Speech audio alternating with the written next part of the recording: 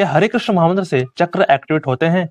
साधकों, हरे कृष्ण महामंत्र से चक्र जागृत होते हैं। अगर आप सही विधि से इसका जाप करेंगे तो ये कुछ ही सालों में आपके चक्र जागृत होने लगेंगे। मूल रूप से हरे कृष्ण महामंत्र मूलाधार चक्र, मणिपुर चक्र और अनाह चक्र पर काम करता है। अगर आपको फोकस अटूट है तो आपका आज्ञा चक्र भी खुल सकता है। ये सब आपको सही विधि से बोलने पर ही मिलेंगी। क्या हरे कृष्ण महामंत्र से हेल्थ बेनिफिट्स मिलते हैं?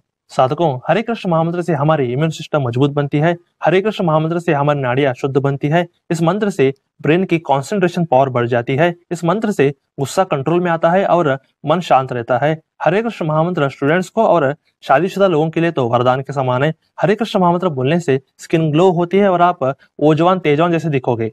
तो यही है कुछ हेल्थ बेनिफिट्स हरे कृष्ण महामंत्र ठीक से कैसे बोले?